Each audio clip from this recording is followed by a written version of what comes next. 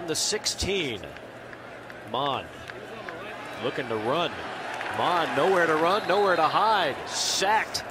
Oh, Odeyingbo brings him down. Blitzing. It's just the front four taking care of business, keeping Kellen Mond, and that might have been a designed quarterback draw. Collin Hill. He'll be dropped back around the 31. Dayo Odeyingbo getting the sack off the edge. Pressure comes. And Hill is dropped at the 26-yard line. Dayo Odeyingbo with his second sack here in the first quarter. To go the opposite direction either.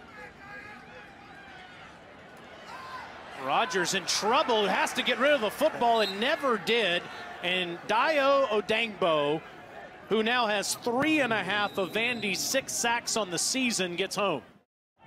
Came into the game leading the Commodore defense in sacks with two and a half. He's on the ground. Does a little barrel, barrel roll, hops up. I think he was a little surprised that Rogers still had the football. Itself, right? no doubt about it. Way they put up points.